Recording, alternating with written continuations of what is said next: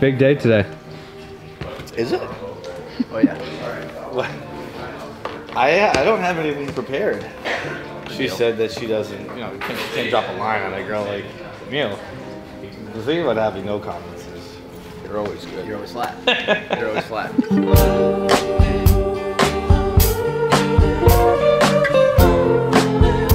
We got a voicemail on the show yesterday.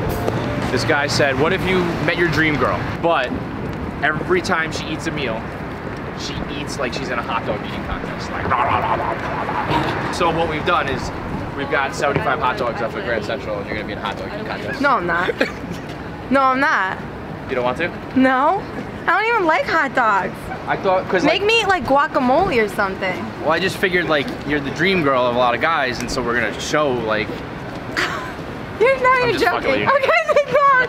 Because you guys would do that. You would pull one on me like that. I don't even like hot dogs, give me guacamole.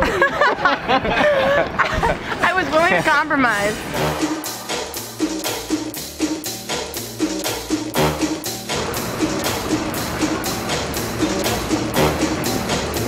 You just give us a quick mom scan?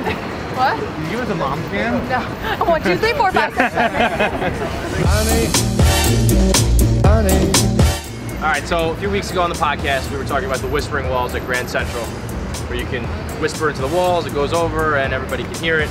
She said she's never been there before, so we're taking her up to Grand Central to uh, show her the whispering wall. I love earlier Camille was like looking at John, she's like, oh, this is like a nice like streetwear outfit, and then she gives me an up and down and just doesn't say a word. and here's your friend No comment. and here's your friend who's a dad.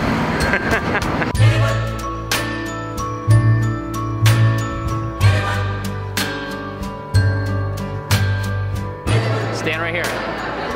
Go stand there. Wait, I don't like talking to anything? Stand there. There's no way I can hear him. Are they joking with me? Hi, Camille.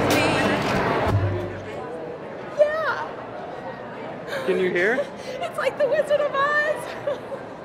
I think these things are bust. You can't hear? I can. Oh yeah, no, now that's weird. Yeah. Right? Yeah. Okay, that was weird. Just get married already. Yeah, we should make him propose. We should make him drop down to a knee. Oh my God, imagine. John, let's take our picture. Okay. He's gonna propose. Oh, that's the big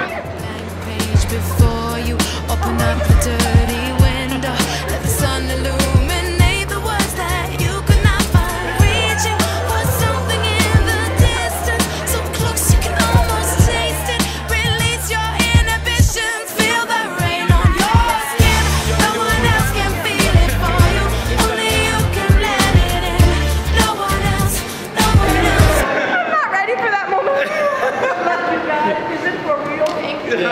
Thank you. Thank you. Oh, John, I go, John, before he goes to John, do you want to save me? He goes, oh, no. Honestly, I was like, I don't even know what that means. Like, okay.